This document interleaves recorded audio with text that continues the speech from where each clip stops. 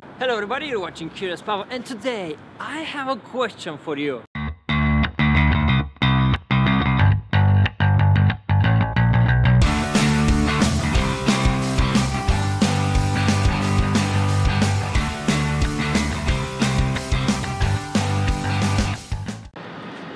To be or not? That's not the question. The question is, what is this?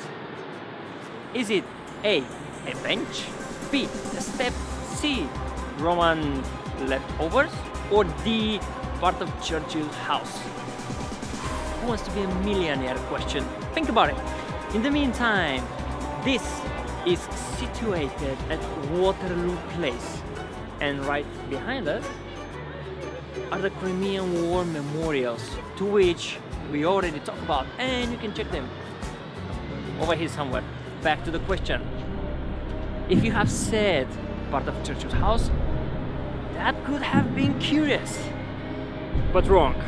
The correct answer is B, a step.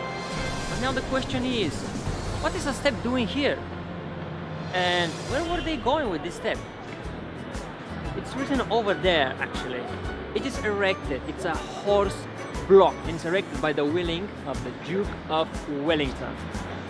Meaning, he was using this to go to his horse. And it was here because on the other side of the road over there, is a gentleman's club and he was a member of that club. There is another step on the other side of the street.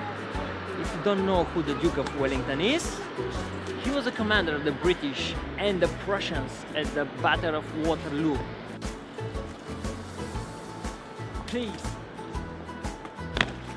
subscribe to our channel and I will see you next time.